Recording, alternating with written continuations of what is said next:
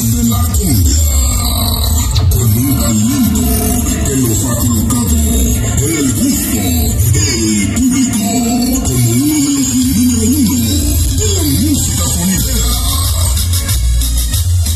Adictos de la comida. Ellos están aquí para hacerte bailar y gozar la música por luna.